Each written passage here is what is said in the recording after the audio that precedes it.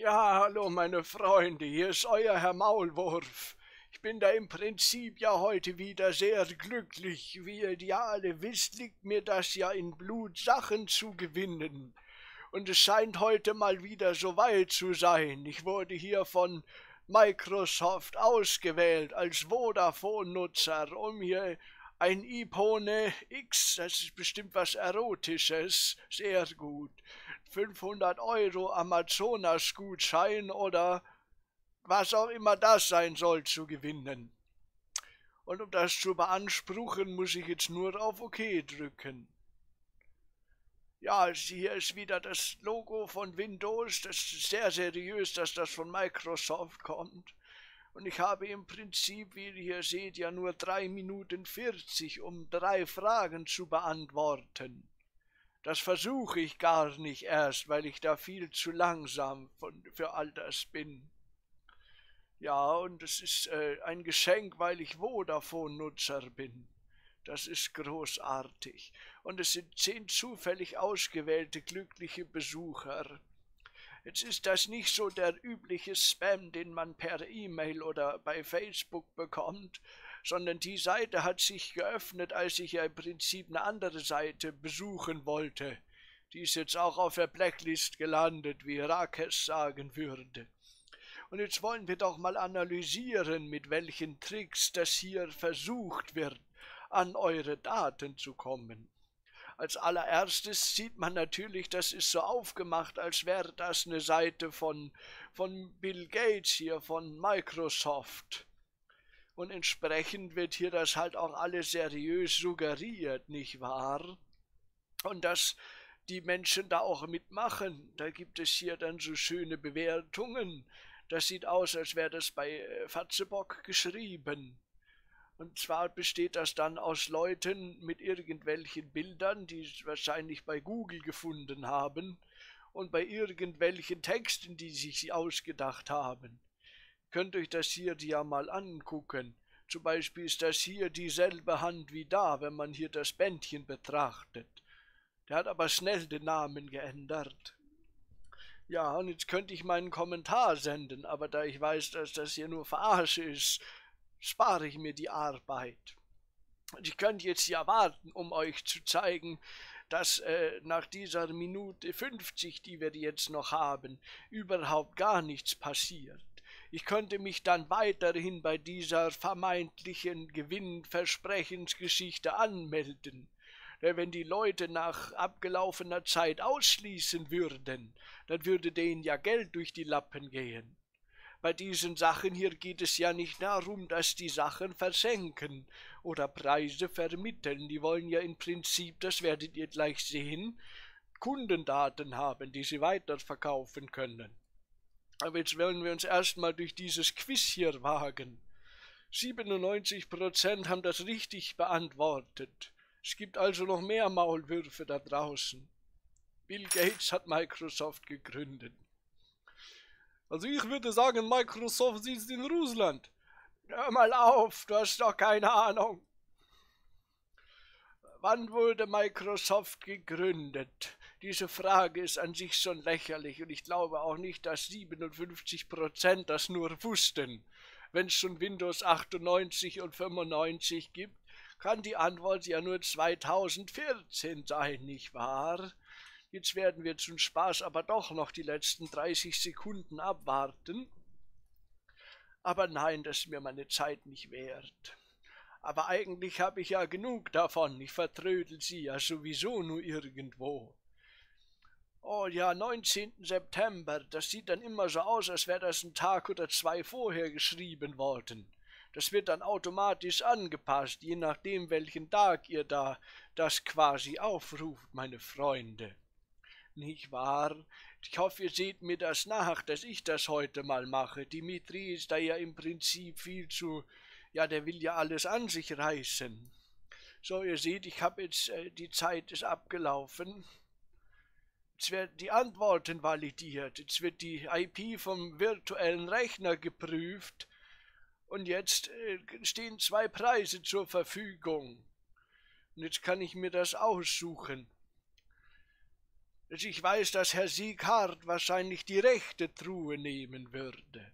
Deswegen würde ich ja gern die linke nehmen. Aber ich werde jetzt einfach die goldene Mitte nehmen und ich prophezeie, dass ich äh, was ganz Tolles gewinnen werde. Ja, natürlich, der Hauptpreis, das ist doch schön, nicht wahr? Da wollen wir doch mal gucken, Anspruch erheben. Das iPhone wurde reserviert. Und jetzt geben Sie Informationen ein, um die Identität zu bestätigen. Uns geht das ja nicht darum zu sehen, ob äh, an welche Adresse die das schicken, sondern das geht ja jetzt rein darum, dass ihr jetzt eben möglichst wahrheitsgemäß und detailliert alle Informationen abgebt, über die ihr verfügt, damit die euch eben möglichst personenbezogene Werbung schicken können. Wir wollen das jetzt einfach mal machen, nicht wahr?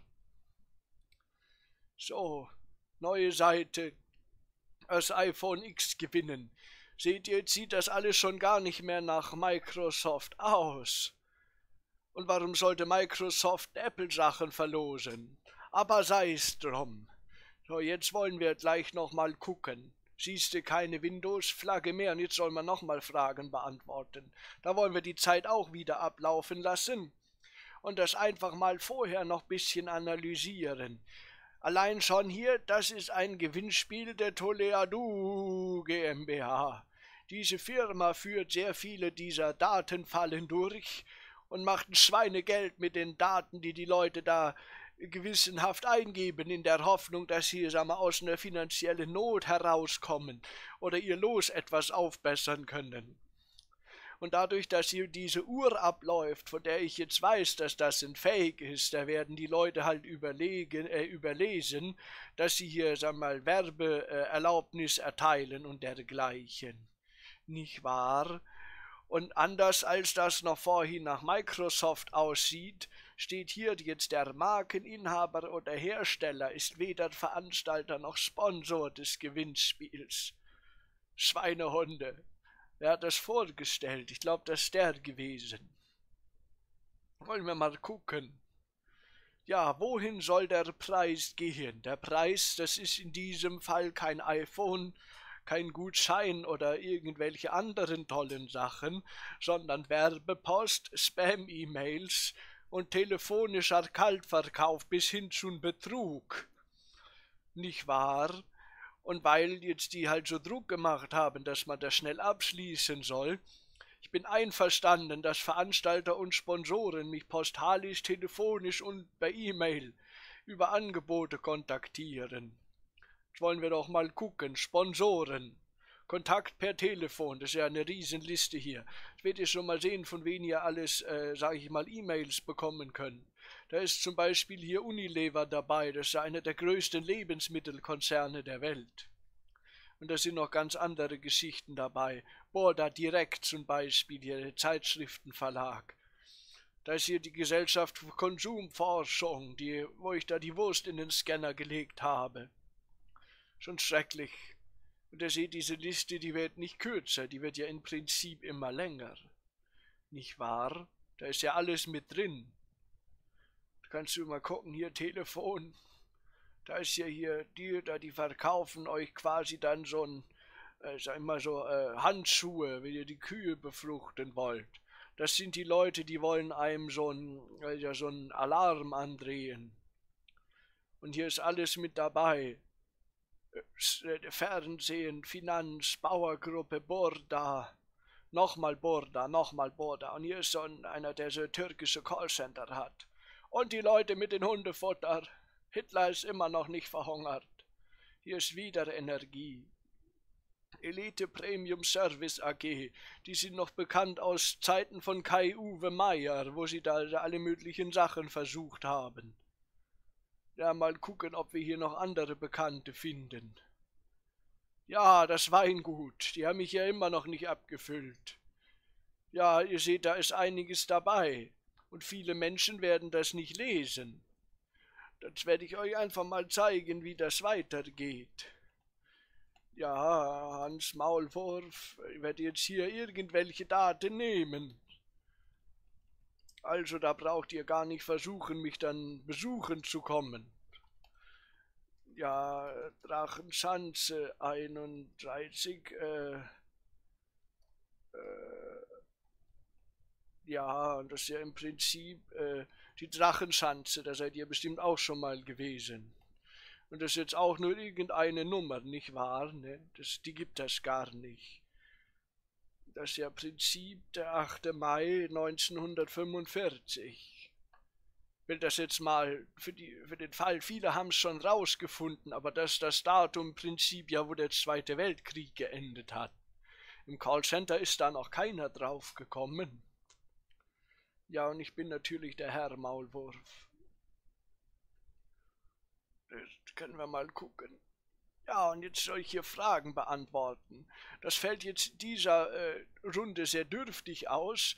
Im Normalfall habt ihr hier dann Fragen, wie viel bezahlen Sie für Strom? Haben Sie schon mal den Stromanbieter gewechselt? Sind Sie zufrieden mit Ihrer Krankenkasse?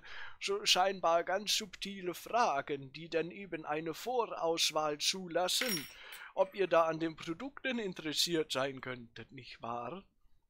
Weiter, Herr Maulwurf, das ist sehr freundliche Ansprache. Jetzt an der Umfrage teilnehmen. Mindestens drei Fragen beantworten. Ja, gerne. Da wollen wir das doch mal fertig machen. Und schon haben wir Newsletter an der Backe, weil die uns ja suggeriert haben, dass wir das sonst nicht gewinnen können. Und wenn wir das jetzt noch äh, im Prinzip hier gleich weitergeht, kannst du noch mehr Gutscheine anfordern. Das ist jetzt äh, Teil 2 gewesen. Nach äh, Facebook, wie die das quasi mit Pop-ups versuchen, euch auf so eine Falle zu locken. Der Anfang ist sehr professionell gemacht und danach kommt ja die Standard-Stümper-Seite von den Gewinnspielen.